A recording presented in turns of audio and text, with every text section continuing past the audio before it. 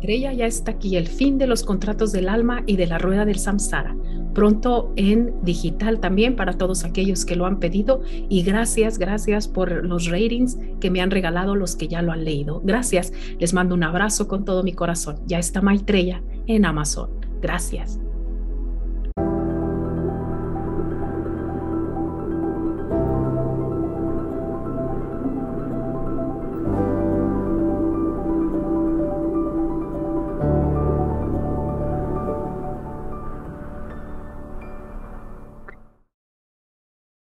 Hola amigos, ¿cómo están? Les mando un abrazo con todo mi corazón. Soy Edith desde su canal Están aquí y hablan conmigo. Y hoy tenemos aquí, bueno, a los astronautas que estuvieron en el Apolo 14, el tercero en aterrizar la luna. Se dice que estuvieron dos días allí, dos lunas extrapiculares, eh, haciendo sus actividades que necesitaban en enero del 31 de 1971. Y estas personas pues iban con la intención de recoger material, material para observación, qué tipo de piedra, qué tipo de, ustedes saben todos los experimentos que ellos hacen, las investigaciones que hacen y en base a eso pues hacen experimentos con los elementos que tenemos aquí dentro en el planeta Tierra. A mí me llama la atención eh, aparece por allí un video, bueno, ahorita les voy a decir el nombre. Bueno, de estos tres astronautas tuvimos a Stuart Rosa, que dicen que él regresó a la Tierra con 400 semillas que germinaron aquí.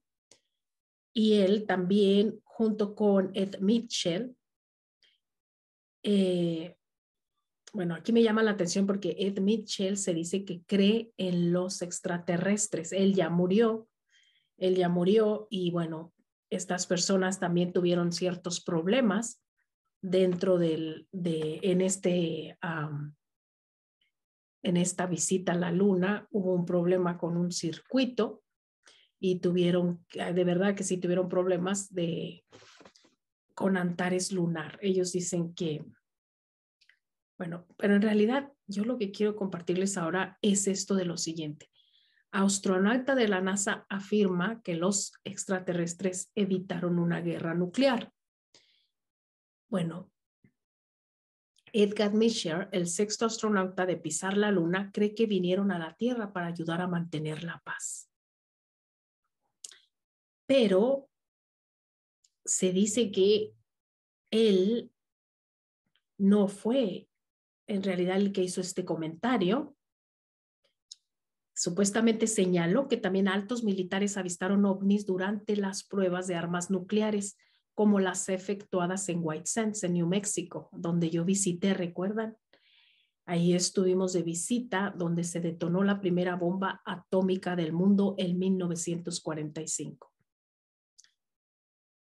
Ellos querían, dice, ellos querían conocer nuestras capacidades militares mi propia experiencia hablando con personas involucradas me ha dejado claro que los extraterrestres han estado intentando evitar guerras y ayudando a crear la paz en la Tierra, dijo Mitchell. Según él, muchos oficiales de la Fuerza Aérea que trabajaron durante la Guerra Fría le dijeron que los ovnis visitaban frecuentemente los campos e inclusive intervenían desactivando misiles.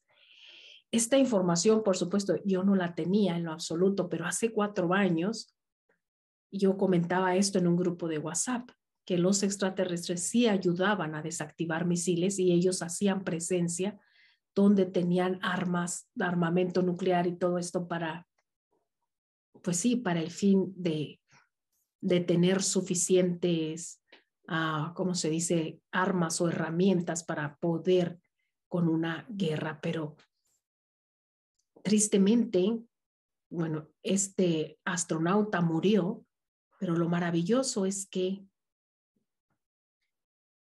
dice que la mayoría de, la, de esta información, un exfuncionario del Ministerio de Defensa británico, dice que Mitchell tomaba esta experiencia de terceros, que él agarraba esta información de allí, porque él tenía acceso a información de alto nivel Y por supuesto, él decía la información, pero sin mencionar por respeto el nombre de los terceros.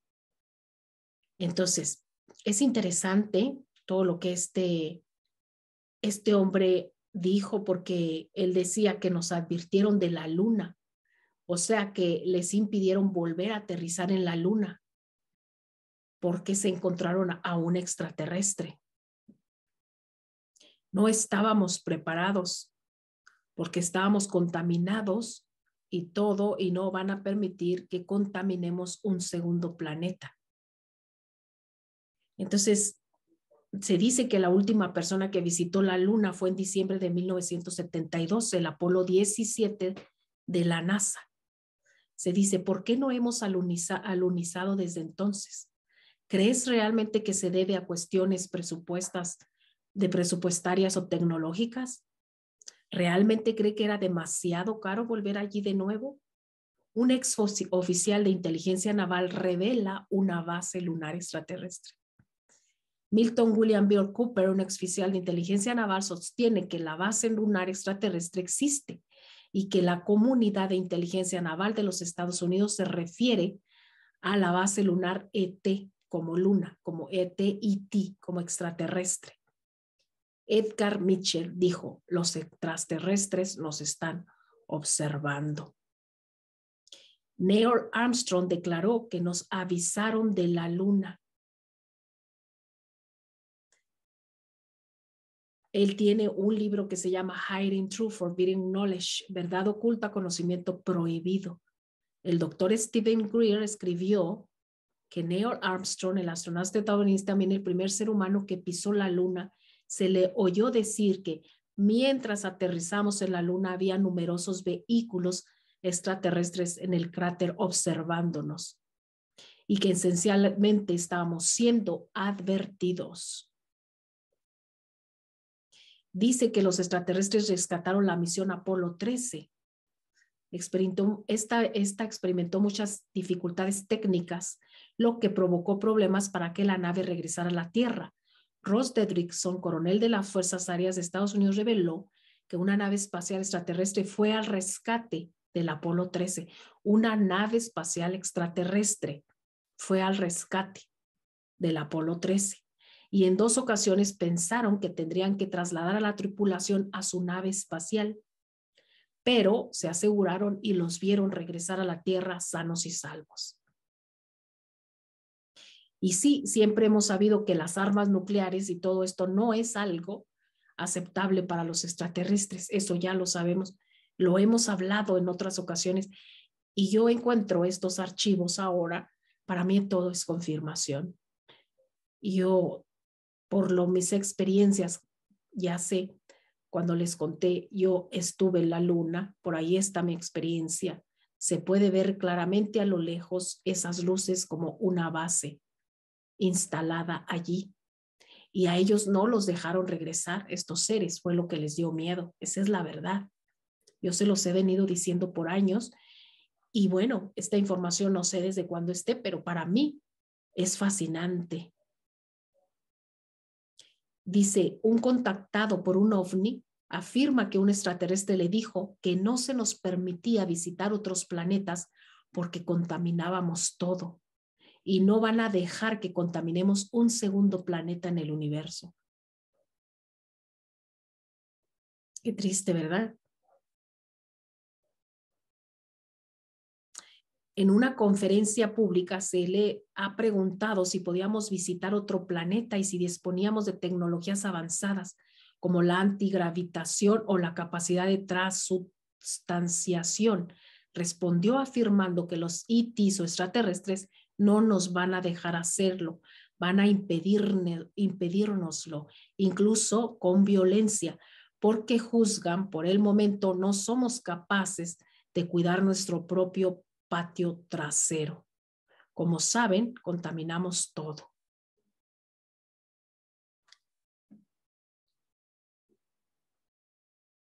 Wow, y estas son las interacciones que tuvo el autor del libro La profecía de Tiakoba, Michel Desmarket, con un extraterrestre.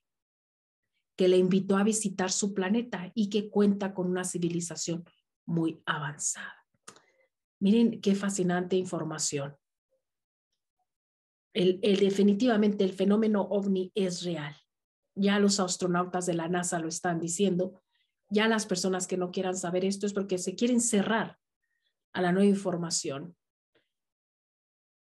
Piensan que esto es del demonio, no solamente los ufólogos, las teorías conspirativas y todos ellos tenían razón.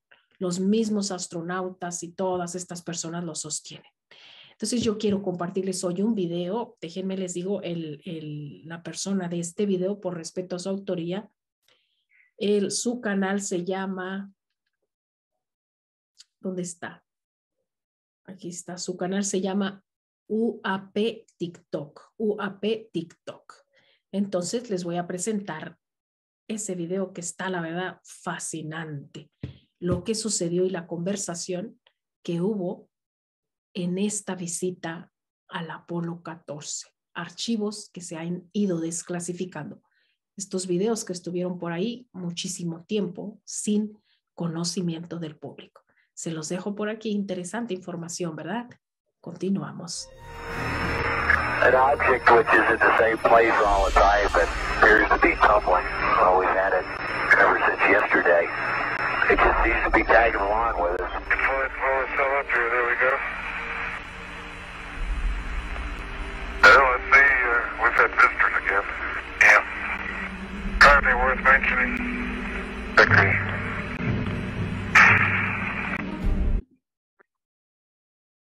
Amigos ya observaron este video y en este video se dice que fue desde los astronautas del Apolo 14 a través de un radio de Houston de que estos astronautas estaban siendo observados desde ayer. Eso es lo que dice el audio y que aparecían alrededor de ellos mirándolos, rodeándolos y pues para ellos esto es una realidad. El video está aquí. Yo sé que muchas personas pues siempre han sostenido que nunca se ha llegado a la luna. Esas son una de las teorías conspiranoicos por allí. Pero yo se los dejo a ustedes. El objeto dicen que se mantenía todo el tiempo allí con ellos y que pues la verdad es muy traumático. Sin embargo, pues yo se los dejo a su conclusión. Amigos, cada quien saque sus teorías. Algunas personas piensan que todo esto está manipulado, que toda esta historia no existe y no es real. Bueno, cada quien pues puede tomar sus propias conclusiones. Entonces, por ahora lo dejamos así. Les mando un abrazo con todo mi corazón. Gracias siempre.